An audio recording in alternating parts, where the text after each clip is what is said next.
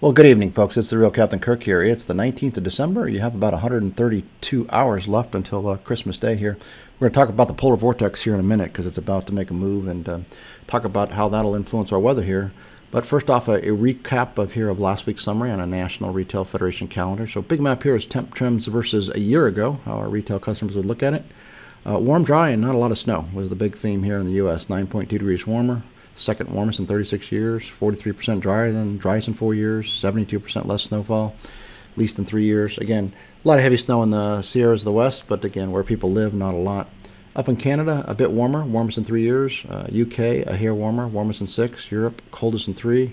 Russia, a little bit warmer. Uh, China, warmest in three. Still cold down under in Australia. Again, they're about to enter their summer here, but their spring has been very cold coldest in nine years. Um, over in Brazil, a little bit cooler than last year, but still above average. On a world scale, uh, quite a bit warmer than last year and driest in 14 years. Maps since that left are the trends versus uh, average.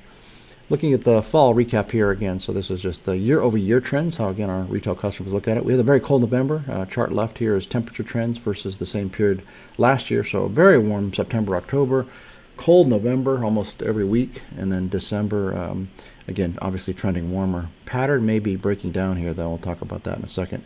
Rainfall generally dry, uh, a couple uh, wet weeks there, but uh, again, the last um, few weeks, and again, going into here December, January, looks to be dry. Snowfall trends are right chart here again. Uh, so yellow bars are just much less snow than last year. Blue bar more snow than last year. So a couple weeks in November with more snow.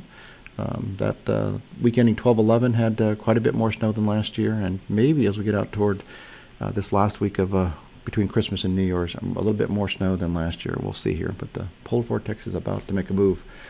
This week here, again, Christmas week, again, uh, about 1.5 warmer than last year, eighth warmest in 36 years. If there's a colder spot versus a year ago, it's definitely the west, Montana, and the New England area. Little misleading here, even in our area. That's going to be quite a bit cold weather here, uh, but uh, nighttime lows may be up just a hair above average, but uh, definitely feel a little more wintry uh, in the northeast. 36% drier than last year, driest in 11 years, eighth driest in 36 years, so below average there. But again, notice where all the rain is, where, where it's not usually uh, out in the west, California. So very heavy rain out there, and heavy mountain snow again. 28% less snow than last year on a national scale, ninth least in 36 years. If we look at the snowfall here, again, there's a six-day snowfall outlook here for the 19th through the 24th.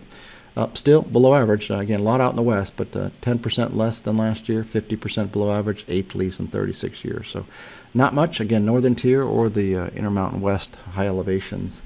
Looking at the um, snow cover here, anticipation for this is uh, actually snow cover on Christmas Day. So folks looking for a white Christmas.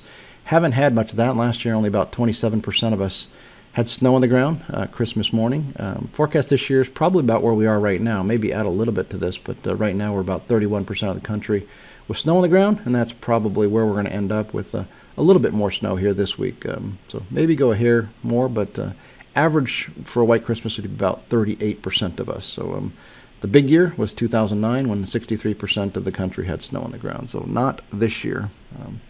One thing we want to look at here, those polar vortex here, again, you can see the signs of it's been very strong, and when it's very strong, it's symmetrical. So you see it starts off pretty symmetrical here, and then it begins to break apart here, uh, a little bit of a breaking and widening apart here. When that happens, it just means that the Arctic air is on the move. Um, so if it's really strong as it's been, uh, it's bottled up at the North Pole, and when it breaks apart like this, you can start to get some cold weather. So we may be seeing a sign of that here as we get into um, January. Our expectations that January would be colder. Uh, we'll see here. There's definitely a sign of the polar vortex doing its thing. Uh, didn't do it last year until February. Um, this year, maybe a month earlier. Next week, again, hard to believe it's going to get us into 2022 here, but um, again, still, you start to see signs of that uh, polar vortex there in the uh, Montana's northern plains where very cold weather is starting to move into the U.S. Uh, so we'll see here. Maybe this is going to start to erode this uh, milder pattern we've had here in December. Just a hair warmer than last year, 13th warmest in 36 years. A little bit drier, driest in four years.